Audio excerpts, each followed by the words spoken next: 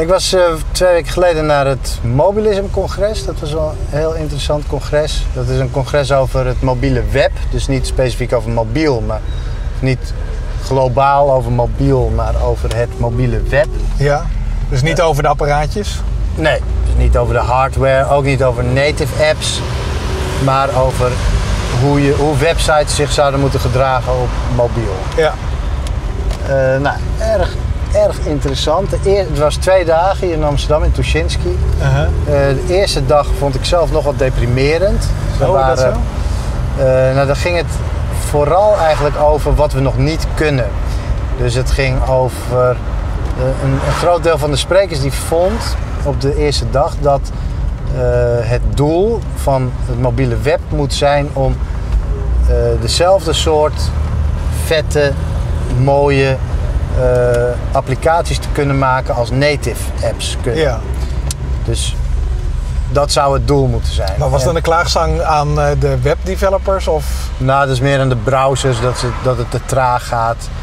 Eh, dus dat, dat we gewoon sommige dingen niet kunnen die wel heel makkelijk met native kunnen. We kunnen Ja, bijvoorbeeld ja. geen foto's maken. Ja.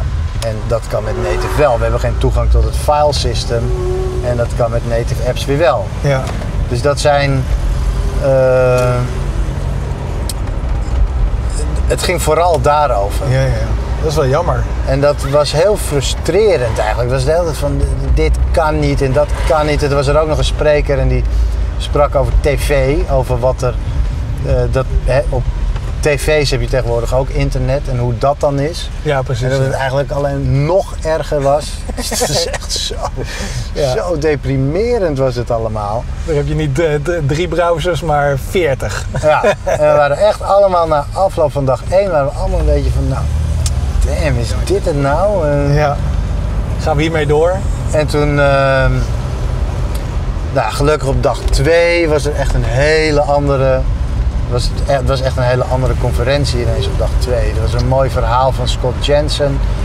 eh, die vertelde over eh, dat je niet moet kijken wat het web niet kan. Je moet kijken wat het web wel kan en wat native niet kan. En dat is heel veel. Er zijn Ah, heel ja. veel dingen die native applicaties niet kunnen. Zoals bijvoorbeeld linken. Ja. Je kan niet linken. Dus Een, een native applicatie heeft geen URL. Nee.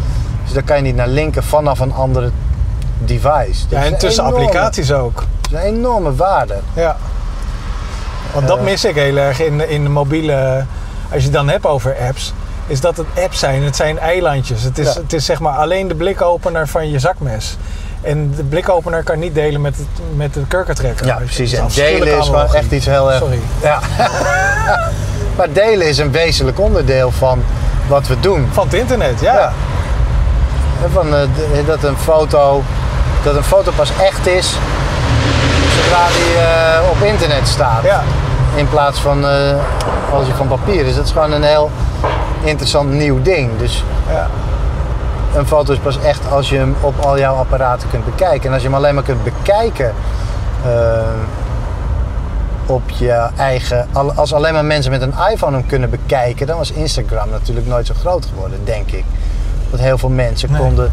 Je kon die foto twitteren en iedereen kon hem bekijken, ongeacht vanaf waar het was. En de reden dat Instagram een native app was, was omdat je geen foto's kunt maken met je iPhone, met je mobiel. Ja, precies, ja. Vanaf een browser. Uit een browser. Maar het is ook zo, ik merk, de, de native apps die zorgen er, ook, zorgen er wel voor dat eh, het heel erg eilandjes blijven, toch? Eh, dus, dus stel je voor, voordat er echt slimme ehm, telefoons waren, Ja. zet je bijvoorbeeld al je foto's zet je op Flickr.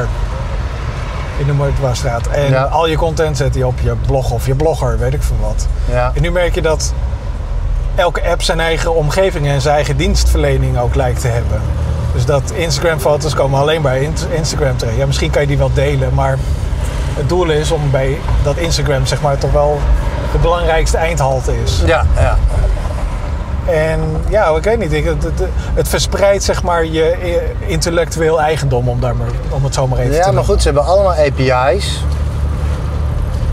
De meeste van die eh, applicaties. Mhm.